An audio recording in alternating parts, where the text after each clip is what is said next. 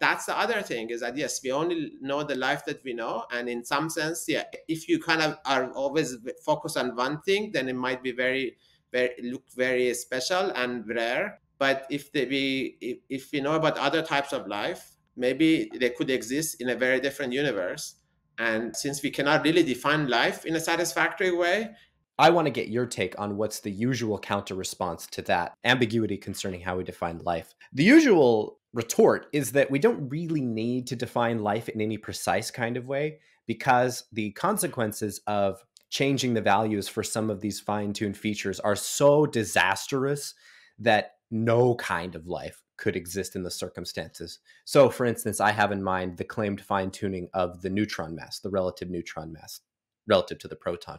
So the idea would be if you increased the mass of the neutron by 1%, then neutrons would have essentially immediately decayed into protons and you would have nothing but hydrogen in the universe. And then if you decrease the mass of the neutron, all protons would have decayed into neutrons.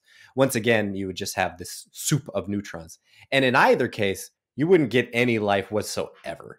So that we just don't really need a precise definition of life to understand that there is a fine tuning for life of any kind going on here.